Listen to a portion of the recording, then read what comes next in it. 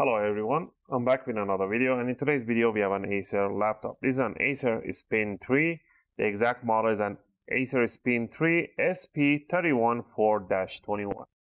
And in this video I'm going to take you on step by step how you can open it up and how you can remove or replace the battery for your laptop. If yours is not holding up anymore, charge or just discharging really quickly, then you might want to replace it. Just remember by replacing the battery, you're not going to remove, uh, change any configuration in the laptop. Everything's going to be left the way that you had it before. I'm to give you a good tip at the end of the video how to supposed to keep your battery health at the best performance state possible. And you know, so you should be doing that once every couple of months. All right, first thing first, you want to power off the laptop. You want to flip it upside down. You want to grab out a screwdriver set. We're going to use a Phillips number one. This is an iFixit screwdriver set I purchased. If you get the Pro set, they will include you with an opening tool. If not, get the basic set. And for the opening tool, I'll be using a guitar pick. And metallic guitar picks are suitable for opening cases and covers. Right, down here, we're going to remove all the screws that we see, the one in the middle, back to everything, the one in the front row, all the screws. All the screws are the same size and height. So don't worry about mismatching them. Just go ahead and remove them and keep them in a single pile. Also, if you guys like my videos, if you find my videos helpful and helping you guys out, you can support the channel by clicking that like and subscribe. I'll greatly appreciate it. It helps and motivates me to make more videos, take requests, and answer your questions in the comment area. Appreciate that. Alright, once we remove all the screws, what you want to do, you want to grab the opening tool and we're going to start from the front corner. We're going to stick the opening tool in between the bottom cover and the palm rest, just like that. Let's see, it focuses here. Now what you want to do, you just want to twist and you want to hear that click tab. You want to do that all around in the front end. Go like this. And you want to hit those tiny click tabs so that the clips are getting loose enough.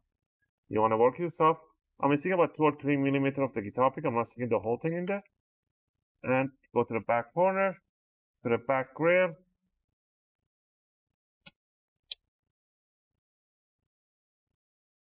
Go to the other corner, and that's it.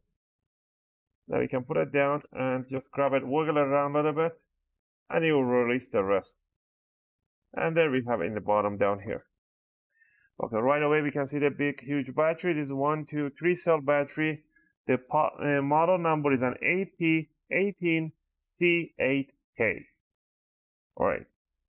This is an 11.25 volt.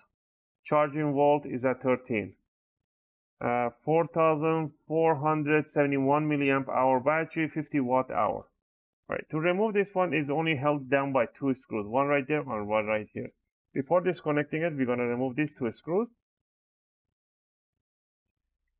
the screws are the same size and height so don't worry about it again just matching them put them in one side now we can lift it up from here bring it up a little bit you might have a little is I seen some models have a um, gaffer's tape over here. You want to remove any black tape, anything you have over here. Bring it up, put it to one side. There's a gaffer's tape right here. Now what you want to do, you don't want to yank on the cable. You want to put your fingers on the side of the jack and pull it towards yourself evenly, straight. So don't put sideways. Just make sure you pull it evenly. And there's your battery. It's pretty dirty, this one. Alright. So what you want to do here is to grab the new one in, make sure all the new ones, they come with the cable in here, make sure the cable orientation, the size, the pinholes, everything matches. You have the right one. You want to put, before you put it down in the spot in there, I would recommend you to put it in an offset position just like that so you have a better space to work with the connector. You want to make sure the connector stays in front of the jack straight and then you just want to pinch it straight inside, goes evenly inward. So you don't want to go sideways in, you want to go straight in. All right, once you have that one in there, you want to put the back end of the battery down in here, drop it down, and put the two screws that you removed, one on each side. Now once you're done with this one, you can just grab the top cover, put it down, squeeze the corner, the front, make sure you hear those nice big click sounds. That's what you want to hear all around. And then to finish it off is just putting the bottom screws in place. Now, regarding the new battery on the laptop, once you have the new battery plugged in, uh, you put the laptop back together. You do not want to power it on right away. If you do power it on right away, just turn it off as soon as you can, quickly, and connect the charger, let it sit down and charge for at least three to four hours.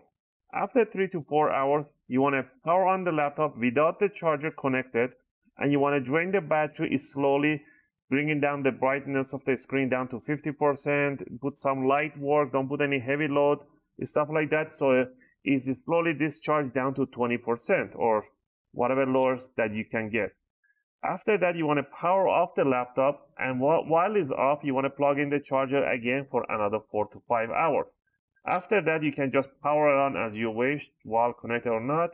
That uh, initial charge and discharge, it is very important for the new battery, and you should be doing that once every couple of months to keep the health of the battery at its peak performance state possible. Again, I hope you guys like this video and helped you guys out. If you have any question or requests, feel free to leave them in a video comment. I'll try to answer them as soon as I can. As always, thanks for watching, and I will see you guys in my next video.